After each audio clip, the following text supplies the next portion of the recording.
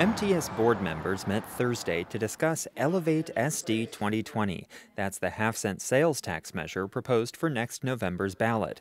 It's expected to generate about $24 billion over 50 years.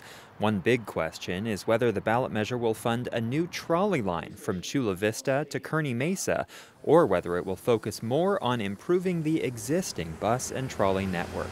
County Supervisor and MTS Board Chairman Nathan Fletcher says the measure can't pay for everything. But our goal is clear in terms of increasing ridership, providing more opportunities, getting the environmental benefits, the congestion relief, um, and so it's just assessing how we put that package together.